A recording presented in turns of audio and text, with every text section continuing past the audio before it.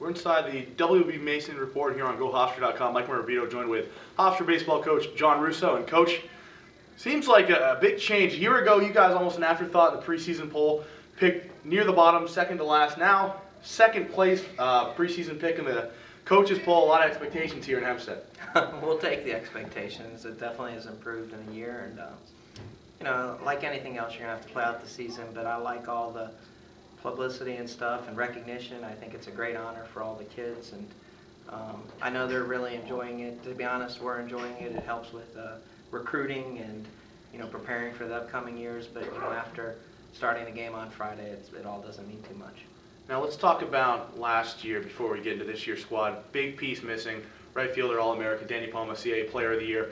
Have you stayed in contact with him, and what's it going to be like to not have him um, in the dugout this year and on the field? Really one of the biggest leaders of the of the program. We stay in contact with Danny almost you know daily. He'll be at Oklahoma for our first series, and then in California for another series. I mean, he bleeds, you know, the royal blue, and um, it, it's going to be a big miss. Uh, there is no replacing Danny Poma. That's the one thing you know we've decided and, and thought is it's going to have to be a group effort from a lot of guys to improve a little to replace. No, there's just not one person that can do it. He had too much of a monster year. He had too much of a, a big influence on the team. So, you know, I, I talked to the kids about it being, uh, you know, just a group effort. I have to be better. You know, Jared Hammer's going to have to be a little bit better, and and uh, a couple guys, and then you know, losing Ford also doesn't hurt. So, you know, we got our work cut out for us. Now, you mentioned Matt Ford, uh, one of three All-CA players that won't be on this year's squad or be able to play. Kevin Flynn, the senior, uh, All-DH, also graduated along with Poma, but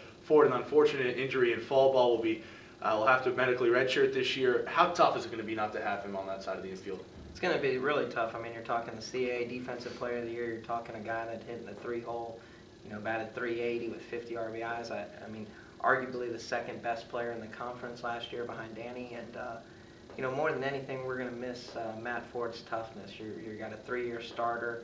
There's nothing he hasn't seen. There's nothing he can't deal with. And um, there's, there's no overcoming his toughness. And, you know, you make a pretty big move of going from a guy that's a three-year starter, maybe the best player in the CAA, to a, a freshman. So it's a, it's a big miss.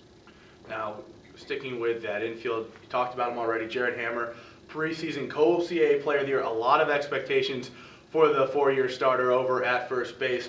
Have you had a chance to sit down with him? And obviously, the guys that were hitting in front of him last year won't be there. Different guys, but you know, possibly similar hitter, hitters he'll have at the top of the lineup.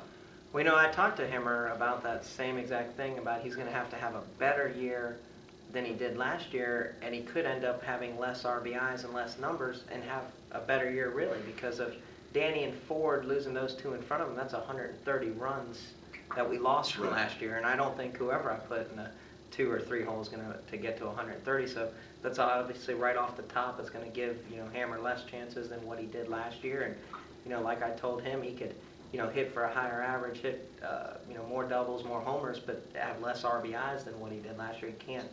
He just has to make his opportunities and the shots that he does, you know, at a higher percentage because it seemed like last year, almost every time he came up, there was people on base, and you know he drove them in. He had 66 RBIs, I believe, and um, had a great year. But he's going to have to be much more disciplined and you know really worked on base percentage because I feel like with you know Jackson, Perez, right center batting behind them, maybe they can start getting some of the ribbies. Now you mentioned Perez had to sit out last year uh, due to an injury. Came in with Danny Poma. Actually, him and Poma only guys to play every game two seasons ago, uh, led the squad in home runs, now back at that third base position in the hot corner. You excited to have him back, and what does he bring to the lineup in a power point of view? You know, real excited to have Joe Perez. He's a great leader. He's a really tough kid. Um, he really has experience, so you know he'll pick up a little bit of Ford. You know what we lost with Ford in that area, and and then he brings a you know a different dynamic with his power and. Um, you know, able to hit six, seven in the lineup. He's going to, you know, probably get a lot of good pitches to hit, and you know, the thing we're super excited about is he brings a lot of stability defensively at third base, which, you know, uh, thank God for TJ and Kevin Flynn last year. They, they did a great job and very admirable, but their defense wasn't spectacular. And, uh, you know, Joe the year before, I think, had five errors at third base and, uh, you know, made a bunch of unbelievable plays. So that, that's something that we need to to get to the stability of his defense back at third base. Now, his partner on the left side of the infield, Dalton Rouleau, came in as a JUCO guy last year, and All-CAA shortstop. Actually, it was good enough defensively to move Ford over to second base. you have to be happy with his performance last year, but are the expectations even higher for the senior now as he enters his final year? You know, we lose Ford, and then uh, comes out in the early poll that uh, Dalton's the CAA preseason defensive player of the year. So tells you how good those two are up the middle. And uh, you know, Dalton has uh, the, I guess the most uh, unlikely hitter you want to face, you know, or least recognized hitter. Because we thought at the end of the year, Dalton arguably could have been our best hitter in our lineup, and you know, he made first team all conference, and he's a guy that you know, he played injured for about three weeks last year, and it really hurt his numbers. But, you know, it's one of those things, if he didn't play, it would have really hurt the team. So instead he played, played through an injury, really killed his stats. So I, I think he could put up really big numbers compared to what he did last year if he can stay healthy. Now, behind the plate, Matt Reistetter, a junior and now in his third season with the squad. Really, very few guys you see handle the staff as well as he does.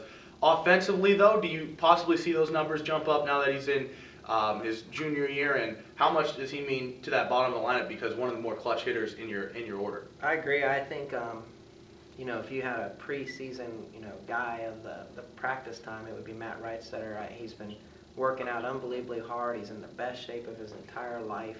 He looks great. He's acting uh, really mature, and, and you can just tell that he's made a big jump. I think it helped a lot with the experience last year, and he had a great experience in summer baseball where he got a lot of confidence. And, you know, basically since August, September, we've seen a different kid, but I can argue since January we've seen even a different guy. I mean, he's he's really motivated right now. He looks great, and um, I, I think he can do a lot of damage wherever we hit. And it's tough. It looks like he had such a bad year, but he hit 280 on most teams. That'd be pretty normal, but it's 50 below points below our average. So uh, you know, he knows that, I know for sure, and he's really motivated. And to be honest, in the early season hitting, he's hit as good as any hitter we had.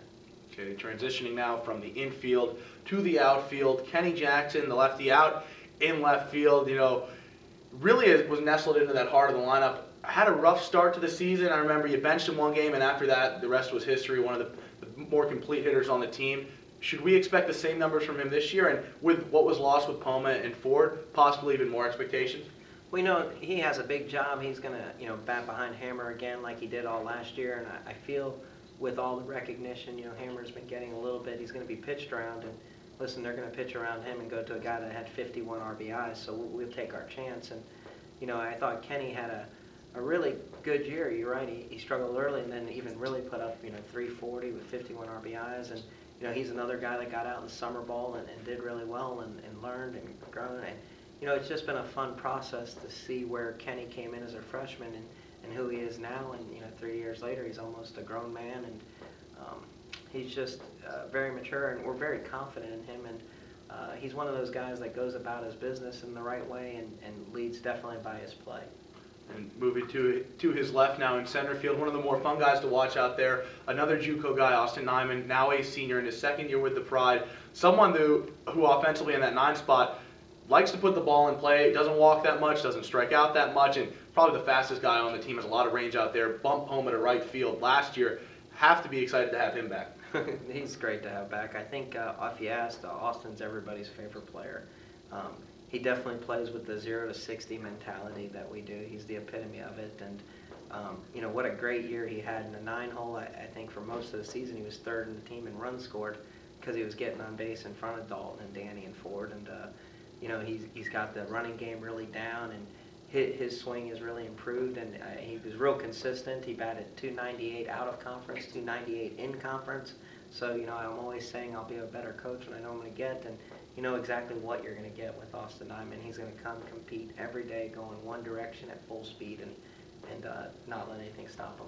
Now in right field, Poma's position last year, is there almost a competition for that spot or possibly a uh, platoon a possibility out there. I know Taylor Stewart is back. You also have Brian Verbitsky, who's really been more of a pitcher. Uh, if you look at last year and what he did in the in the Cape um, this past summer, or, or, is there possibly a guy that maybe under the radar that could have that spot? We have a guy, um, Brent Hall, that we recruited from College of Sequoias. It's the same place that Joe Perez came in from, and um, he was their three-hole hitter out there, and he's uh, done great. Uh, I think since the fall he's added around 20 pounds. He's really big, 6'3", 220, super athletic, maybe one of the most athletic guys on our team. And, um, you know, it's been really figuring out his swing of late. And, I, I talked that he didn't have the greatest fall, but he had six home runs in the fall.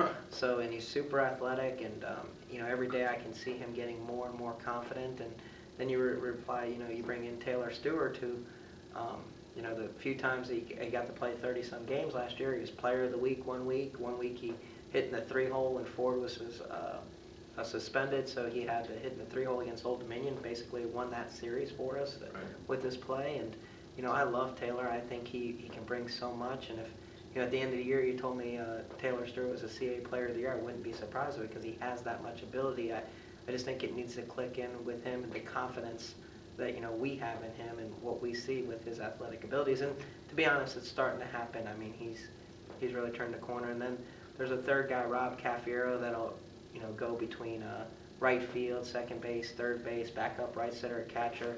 He's probably our you know our, our epitome of a baseball player. He can do it all. He'll uh, probably start the season in the two hole and. You know what a great addition he's been from junior college, uh, from Catawba Valley Community College in North Carolina.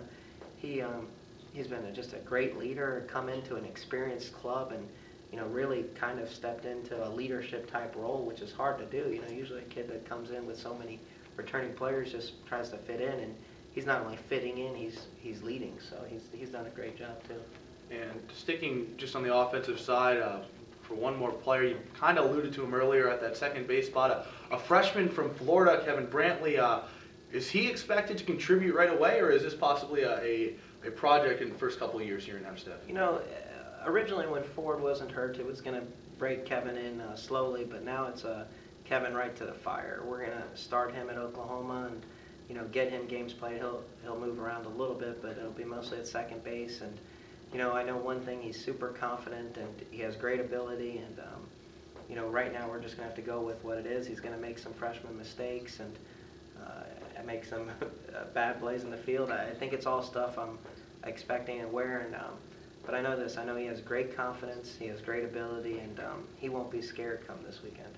Okay, now let's transition to the pitching side of things. Really, you know, hitting as completed it was last year towards the end of the season, pitching kind of fell apart with injuries and then just the, the age. Uh, you had a few freshmen in there first taste of college ball, but now you look at everyone coming back, really six guys. It's pretty deep if all, everyone's healthy. Can you talk about the rotation and really uh, the fact that Dave DeRico now coming back from Tommy John, how much that will add to this staff?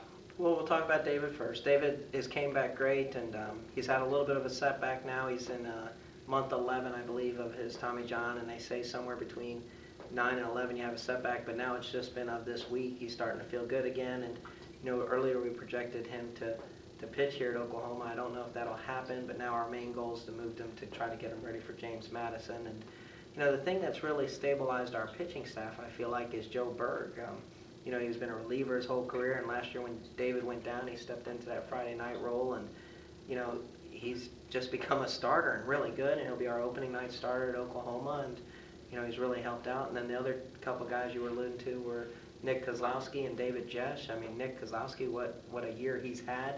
You know, at this point last year, at this conversation, he wasn't even really a thought, and you know, he's throwing game two of the conference tournament and beating VCU. And um, so he'll start this coming weekend against Oklahoma, and then you return a, a Tiedemann who was all conference, and you know he locked down every Saturday start all year. And you know maybe he did have some bad starts in there, but he also had some really good ones. Absolutely. But more important to us was we could depend on him, and, that, and that's what I love about John Tiedemann. Good, bad, indifferent. You can count on him. He doesn't miss his start. He might not feel great, but it's kind of what I said about Dalton. You know, he played three weeks through an injury. Tiedemann through couple weeks they're not feeling the best. And, and listen, I, I very much respect what he did for us last year and, and counted on him again big for this year. And and then uh, the last guy, Jerry Rogers. And you know, you got Jerry Rogers who's had a great early season right now. He's been a, a different person since January, on and off the field. I, I think he's growing up. He pulled a 3.94 GPA in the fall, and uh, you know, which is really good compared to what he came in here as. And uh, I just can't tell you how much I'm proud of him so far, what he's done, and, and he'll probably start at Oklahoma. Now, with those six guys, of course, come CAA time, you only have three spots in the, on the weekend rotation. Does competition here breed excellence? That you know that three of these guys will be left out, can still help the team, of course, but that really everyone healthy. When everyone's healthy, you know that those three guys are going to be the top. You got it. I, you know, one of the things I talked to him about is I'll never apologize for having too much talent. And, uh, you know, the competition now is among them, and we'll all know who's the best. And to be honest, it'll make us better in midweek games, and, uh, you know, want to try to win as many midweek games as we can, and, you know, try to give ourselves a chance at a regional bid, at-large bid, if uh, we weren't able to win the CA this year. All right, now to the bullpen here, we got Brian Verbitsky, the closer, and a few other guys, Cody Norman, Andrew Barberino, Brett Schreiber, bridging uh, gap. Really was one of your stronger units last year. Can you just talk about that really quick?